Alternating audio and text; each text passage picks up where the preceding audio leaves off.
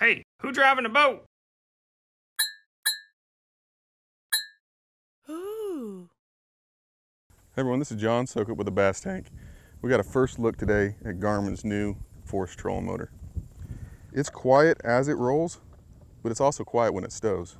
Everything about this trolling motor is super, super powerful and super quiet. Most trolling motors, you've got to get in position, maybe get your foot up and, and click it over. I'm gonna stand way over here. I got I got unit standing high. I'm gonna pull this thing up with these two fingers. It's gonna go right into place. Now, the, the other feature about the stowability that is just amazing for all us LiveScope guys who've got this $1,500 transducer mounted right here that have broken it or seen other people break it by stowing the trolling motor improperly. No matter what angle I have this troll motor at, let's see, I kick it, make a really odd angle. As I pull this up, it automatically stows back in place every single time, the same way. Show you guys again. This feature right here, I, this is just fun to come out here and just keep playing with it.